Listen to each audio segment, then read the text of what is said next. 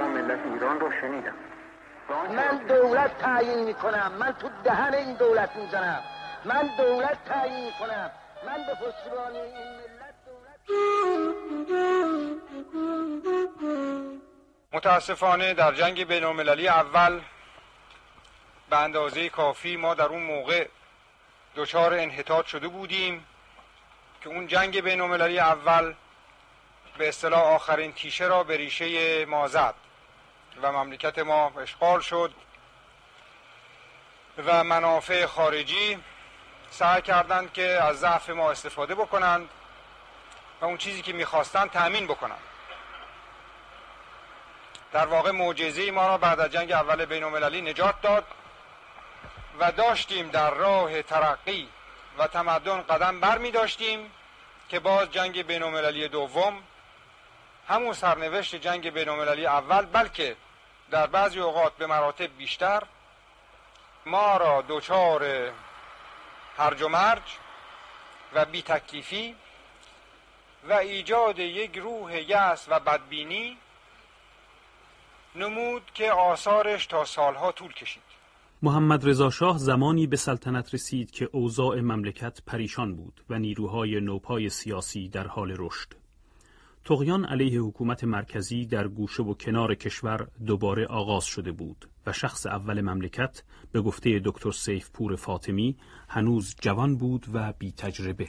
محمد رضا در اون وقت به سن 21 سالگی بود و تمام عمر تحت فشار یک پدر خیلی مقتدر و قوی و سختگیر بود من با محمد رضا شاه در دوره چهاردهم که در مجلس بودم خیلی نزدیک بودم و اغلب با او ملاقات می‌کردم. او هم خیلی در اون موقع مثل اشخاص خیلی عادی بود می نشست صحبت می‌کرد سیگار تعارف می‌کرد و در دل می‌کرد از روزنامه ها شکایت می‌کرد. ارز کنم که در اون وقت محمد رضا شاه یک جوانی بود که امید داشت که می‌تواند یک کارهایی بکند ولی دو عیب داشت. یکی اینکه اون عزم و اراده پدرش را نداشت. دوم اون که فوق العاده دهانبین بود. و هر که او را ملاقات می‌کرد در اون روزها با او موافقت می‌کرد. یک موضوع دیگر این بود که فوق العاده در اون موقع تحت نفوذ مادرش و خواهرش اشرف بود. فراموش نفرمایید که وقتی که این به سلطنت رسید دشمنی و اداوت مردم نسبت به این فامیل زیاد بود. روزی نبود که تمام روزنامه های تهران مملو از حمله و شکایت مردم نباشد. برای اینکه یک مرتبه در شکایات باز شد. تمام این اوضاعی که در مملکت پیدا شده بود. حضور قشون خارجی. اینها تمام یک مرتبه در مقابل یک جوان 21 ساله که هیچ در کارها تجربه و دخالتی نداشته است البته او را به کلی از همون وهله اول ترسو و بی اراده وجود آورد. البته اینها سالهای اولش بود و یک عیب دیگر محمد رضا شاه این بود که اخلالگر بود. یعنی می‌گفت من پادشاه مشروطه هستم دخالتی نمی کنم ولی همین که یک حکومتی شروع به کار می‌کرد فورا چوب لای چرخ اون حکومت میذاشت. فراموش نفرمایید که در دوره چهاردهم که در مجلس بودم پنج حکومت عوض شد. و این هر حکومتی که به خوبی کار می‌کرد فوری این یه عده اطرافش جمع می‌شدن افراد مفرد و اون وقت یک نخست وزیر میتراشتن او این را به یک وضعی مستقیم یا غیر مستقیم به مجلس تأمین می‌کرد. در سال 1323 مجلس چهاردهم آغاز به کار کرد. با آزادی نسبی انتخابات نمایندگان جناهای چپ و میلیون هم به مجلس راه یافته بودند.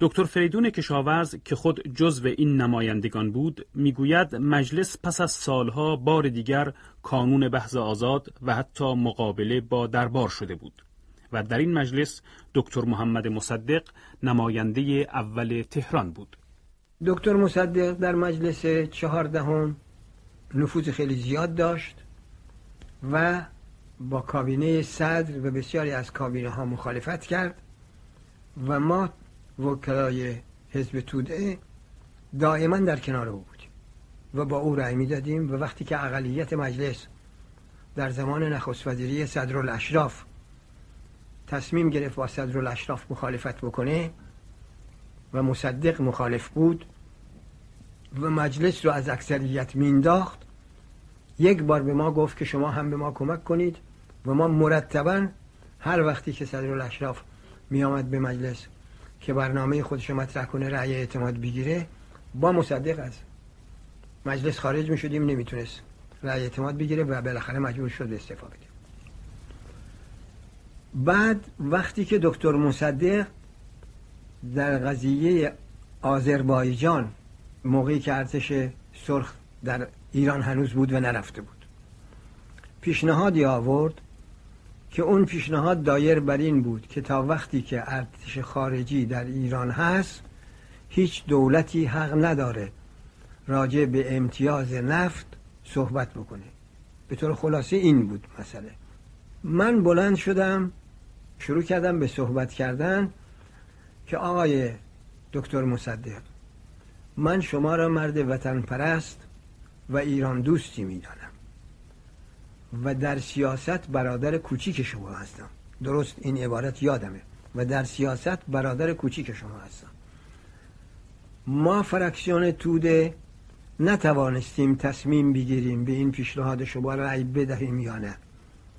برای خاطر اینکه اون موقع من و ایرج اسکندری و رادمنش و گمان می‌کنم شهاب فردوس. چهار نفر. موافق دکتر مصدق بودیم. بقیه چهار نفر مخالف پیشنهاد دکتر مصدق بودن. بنابراین نمی‌دونستیم چهار به چهار شده بود نمی‌دونستیم رأی بدیم یا نه. من بعد از اینکه گفتم برادر کوچیک شما در سیاست هستم گفتم پنج دقیقه. به ما وقت بدید. از مجلس هیچ کس خارج نشه. ما فراکسیونمون رو تشکیل بدیم. شاید فراکسیون های دیگه هم میل داشته باشن. تشکیل بشن. و ما بتوانیم تصمیم بگیریم به شما رأی بدیم یا نده. دکتر مصدق رد کرد این تقاضای مرا گفت نه خیر و اکثریت مجلس هم فریاد کردن. رأی رأی رأی. رأی گرفتن.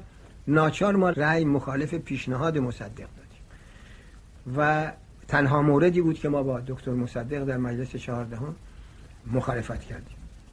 دولت در آشفتگی دوران جنگ بار دیگر به سراغ امریکا رفت و مستشارانی برای سر و سامان دادن اوضاع اقتصادی و نظامی به ایران آمدند. ملیون که حضور امریکا را وزنه تعدیل کننده ای در سیاست خارجی ایران می‌دیدند بر اثر بیحاصلی اقدامات مستشاران در مجلس چهاردهم خواستار اخراج آنان شدند. البته اثر رقابت قدرت‌های خارجی در سیاست داخلی ایران محسوستر می‌شد. و این بار اتحاد شوروی بود که به گفته دکتر سیفپور فاطمی در آذربایجان و کردستان اعمال نفوذ مستقیم می کرد. بعد از خاتمه جنگ شوروی ها که بنا بود قشونشون را از ایران ببرند از رفتن امتناع کردند شهر قضیه هم این بود که در طول جنگ روزها هیئتی به تهران فرستادن و اون هیئت تحت نظر کاپترازه تقاضای امتیاز نفت در پنج ایالت شمالی ایران داشت. دولت ایران از دادن امتیاز خودداری کرد و در ضمن دکتر مصدق لایحه از مجلس گذروند که در طول مدت جنگ و بعد از جنگ دولت حق ندارد که هیچ گونه امتیازی به کشور خارجی بدهد. این موضوع باعث شد که روزها قائله آذربایجان و حکومت پیشوری را به وجود بیاورند. وقتی که ایران خواست آرتش به آذربایجان بفرستد روزها در قزوین جلوگیری کردند دولت ایران قضیه را به سازمان ملل که تازه تشکیل شده بود ارجاع کرد. در آن زمان نماینده ایران در سازمان ملل سید حسن تقیزاده بود. او در جلسه شورای امنیت که در لندن تشکیل شده بود نطقی کرد. The memorandum which I am handing in sets out the facts which are relevant to this most unfortunate dispute.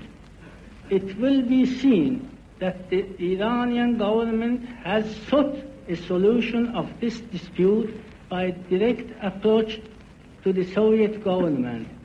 تقیزاده گفت که ایران پیش از آمدن به شورای امنیت ابتدا کوشیده است که مسئله آذربایجان را از طریق تماس مستقیم با شوروی حل کند. البته شکایت ایران و تلاش های چهار دولت پی در پی وقت در ایران نتوانست مسئله را حل کند. در اواخر مجلس چهاردهم قوام السلطنه سیاستمدار کهنکار به نخست وزیری رسید و به گفته دکتر سیف پور فاطمی تلاش برای حل مسئله آذربایجان در صدر اقدامات دولت قوام بود. قوام السلطنه شخصا به مسکو رفت و در اونجا با مولوتوف و استالین صحبت کرد و اونها بهش گفتن که سفیر ما به تهران خواهد آمد در خلال این احوال جنگ سرد بین امریکا و روس بالا گرفت و قضیه ایران قضیه خیلی مهمی برای امریکایی ها شد. پرزنت رومن التماتومی راجع به ایران به دولت شوروی داد و به اونها گوزد کرد که شما باید در ظرف شش ماه ایران را تخلیه بکنید. در ضمن قوام سلطنه هم در تهران از این موضوع استفاده بزرگی کرد و قراردادی با ساچیکوف سفیر روسیه منعقد کرد که بعد از اینکه مجلس تشکیل شد و این قرارداد به تصویب مجلس رسید شرکتی بین ایران و روسیه تشکیل و نفت شمال را استخراج کنند. ولی ماده که در اون قرارداد بود این بود که به تصویب مجلس برسد. و تصویب مجلس هم طبق قانونی که از دوره چهاردهم گذشته بود ممکن نبود برای اینکه در دوره چهاردهم مجلس روزهای آخر تصمیم گرفت که انتخابات ایران موقعی باید شروع بشد که قشون خارجی کاملا ایران را ترک کرده باشد. بنابراین روزها در مقابل دو مشکل واقع شده بودند. یکی قضیه انتخابات و یکی فشار امریکا. قشون خودشون را از ایران بردن برای رهایی آذربایجان قوام السلطنه به تحبیب حزب توده و حکومت فرقه دموکرات در تبریز پرداخت. به گفته دکتر کریم سنجابی میلیون هم در این کار به او کمک کردند. ما اون موقع که در حزب ایران بودیم با قوام سلطنه خیلی ارتباط داشتیم و خود قوام سلطنه ما را تشویق می‌کرد که با تودهی ها و با عوامل پیشوری و اینها یه خورده تحبیبشون کنید که به سمت میلیون جلب بشه. خود قوام سلطنه یک روزی فریور را مهندس فریور را به مرا خواست. و به ما گفت که شما به دیدن پیشوری برید. پیشوری آمده بود تهران. در باغ جوادیه منزلش بود. شما به دیدن پیشوری برید او رو نصیحت کنید. ما به دیدن پیشوری رفتیم. من به پیشوری شخصا گفتم که شما چرا نمی‌خواید ادعایی بکنید که برای سرتاسر سر ایران باشه؟ چرا حرفی می‌زنید که مرتبط تنها به یک نقطه ایران باشه؟ که مردم نسبت به شما سوزن پیدا کنن. قوام سلطنه مخصوصا به ما گفت که راجع به ارتش به ایشون صحبت کنید چون اختلافشان یکی این بود که قوام سلطنه می‌گفت ارتش آذربایجان باید زمینه ارتش ایران بشه و حکومت آذربایجان ارتش جدایی نداشته باشه. من به پیشواری گفتم این نظر قوام سلطنه نظر درست نیست. اگر شما خودتون رو جز ایران می‌دانید. یک دولت یک ارتش می‌تونه داشته باشه. دو ارتش نمی‌تونه داشته باشه. اگر دو ارتش باشه این علامت بیگانه نیست. قوام السلطنه برای نشان دادن حسن نیت خود به روزها حتی کابینه ائتلافی با شرکت سه وزیر از حزب توده تشکیل داد. دکتر فریدون کشاورز یکی از سه وزیر حزب توده در کابینه قوام بود. قوام از روی یه حساب این کار را کرده بود. و شاه هم مطمئنا مخالف بود. آخه قوام و شاه با هم بد بودن. ولی حساب قوام حساب داشت کارش. او می‌خواست حزب توده رو بیاره شوروی ها رو راضی کنه که من از حزب توده هم دعوت کردم وزیر بفرسته در کابینه و بعد کلک حزب توده رو بکنه وقتی که با شوروی ها در حدودی کنار آمد دستور داد به ژاندارمری و شهربانی و افراد حزب دموکرات ایران که حزب خود او بود که به کلوب های ما حمله کنن کلوب را قارت کنن و بدنن و اینا که ما مجبور بشیم استفا بدیم که استفا هم دادیم. کنار رفت.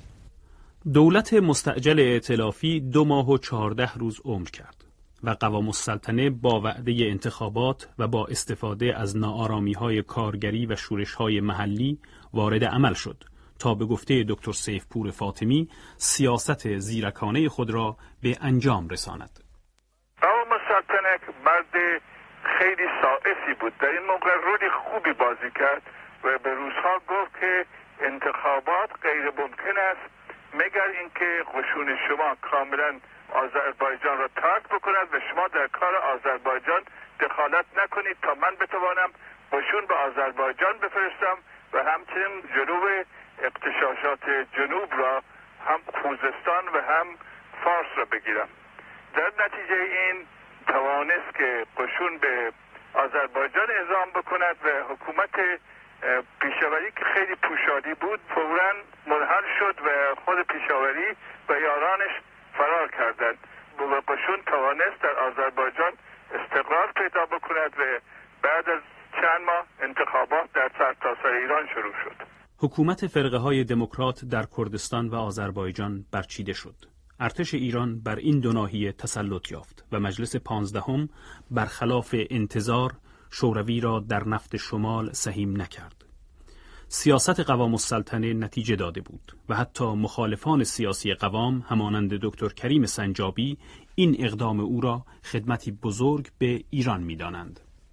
واقعا قوام السلطنه اگر گناهایی کرده باشه اگر تقصیراتی هم داشته باشه و هر چند به اصطلاح از آزادی خواهان و از میلیون نبود ولی در این مورد قوام سلطنه از جهت رفع اشغال ایران و تخلیه ایران از روسا یک خدمت بزرگ نمایانی به ایران کرد که باید به نیکی نامش برده بشه. که بعد از خاتمه کار قوام سلطنه به فکر این افتادن که حالا که دست رد به سینه روسا گذاشتن و اون تقاضای نفت شمال رد شده بود اقدامی برای استیفای منافع ایران در برابر شرکت نفت جنوب بکنن خود قوام سلطنه در سر کار بود که این صحبت ها در مجلس پونزدهم صورت می گرفت و در دوران حکیمی و بعد در دوره هجیر موقع که این مسئله نفت پیش آمد ما که در حزب ایران بودیم متوجه شدیم که یک وظیفه ملی عظیمی در برابر این مسئله نفت داریم و این بود که از یک طرف رفیقمون را آقای مهندس حسیبی را که خود ایشان مهندس نفت هستند. معمول کردیم که این مسئله رسیدگی کنند. و تمام سوابقی که در وزارت دارایی و بانک ملی بود مورد مطالعه ایشان قرار گرفت و اون موقع البته به خاطر دارید در مجلس اقلیت مجلس که تشکیل شده بود و اینها طرف توجه مردم و میلیون بودن. در مجلس مبارزه می‌کردن و حزب ایران هم اطلاعاتی که ممکن بود لازم بود تهیه می‌کرد و به مهندس فریبت می‌داد. و بنده هم در اون موقع مطالعه حقوقی می‌کردم که به چه ترتیب این اختلاف ایران با انگلیس راجع به قضیه نفت یک صورت قطعی پیدا بکنه. بنده در فکر متوجه می شدم که تنها راه این کار ملی کردن است و الا به ترتیب دیگری انگلیس ها حاضر به اصلاح نخواهند بود. و توجه به این که این ملی کردن ملی کردن عمومی باشد که جنبه تبعیض نداشته باشه یعنی ملت ایران منابع نفت خودش را از هر جهت از جهت اکتشاف و جهت استخراج و فروش ملی اعلام بکنه. این فکر مطالعه می کردیم و اون وقت ملی کردن آیی که در کشورهای خارجه صورت گرفته بود. فرانسه بعضی شرکت هاش ملی کرده بود. خود انگلستان بعد از جنگ بعضی شرکت ها ملی کرده بود. مکزیک ملی کرده بود. این ملی کردن های مختلف را و ترتیب پرداخت قرامت را مطالعه می کردیم زمینه فکری در این خصوص کاملا فراهم شده بود. جریان در دوره آخر پونزه مجلس بود که اون قرارداد گسگلشایان را آوردن و این قرارداد به هیچ وجه تأمین نظریات ایران را نمی‌کرد با مقاومت مردم ایران و با مقاومت اقلیت ایران و فعالیت مرحوم دکتر مصدق در خارج از مجلس. مواجه شد و بالاخره عمر دوره پونزدهم مجلس به پایان رسید و به جایی نرسید که جریان مجلس 16 پیش آمد.